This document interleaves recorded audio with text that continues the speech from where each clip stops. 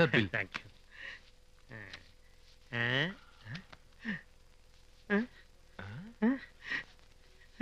என்னடா? நல்லா மாட்டிக்கிட்டோம்டா எதுக்குடா? பறிச்சு எடுத்துட்டு வரலடா. அட பாவி.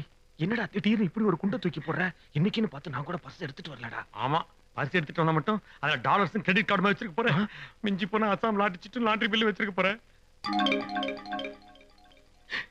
நானூறு ரூபாய்க்கு மேல ஆகி போச்சுடா. என்ன பண்றது தெரியலையே. பெரிய இன்டர்நேஷனல் ஃப்ராட் அவங்க எல்லாம் கூட என்ன கண்டா பயப்படுவாங்க? அந்த அளவுக்கு உஷார் பாருங்க நானு. ஒரு ஐடியா கிடைச்சிச்சு. என்ன?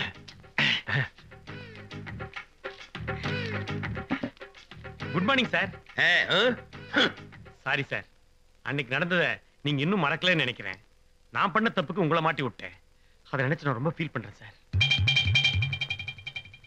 நான் பண்ண தப்புக்கு பிராயச்சித்தமா இன்னைக்கு உங்க பில்ல நான் தான் சார் கொடுக்க போறேன். என் பில்ல கொடுக்க நீ யாரியா? உன் சகவாசமே வேண்டாம் போயா. என்ன சார் இது? மனுஷன் தவறு செய்யறது இயற்கை சார் அதை நீங்க மன்னிக்க கூடாதா? யோ உன்ன மாதிரி அயோக்கியனுக்கெல்லாம் மன்னிப்பு கிடையாது மண்ணும் கிடையாது. முதல்ல இடத்த காலி பண்ணு. சரி சார் நான் இங்க இருக்கிறது பிடிக்கலனா நான் கிளம்புறேன் சார் ஆனா உங்க பில்ல நான் தான் சார் பே பண்ணுவேன். யோ நான் ஒண்ணும் பிச்சைக்காரன் இல்லையா? என்கிட்ட பணம் இருக்கு நான் கொடுத்துக்குவேன். அப்படியே பணம் இல்லாட்டாலும் இந்த ஹோட்டல்ல மாவாட்டுவனே தவிர உங்ககிட்ட வாங்க மாட்டேன். பாப்பா சரி சார். வரேன் சார். ஃப்ராடு பசங்க. இவங்களெல்லாம் நம்ப கூடாது பில்லு கொடுக்குற மாதிரி கொடுத்து பெருசா ஏமாத்திடுவாங்க. நாம தான் உஷாரா இருக்கணும். கரெக்ட் சாப்பிடுங்க. சார்?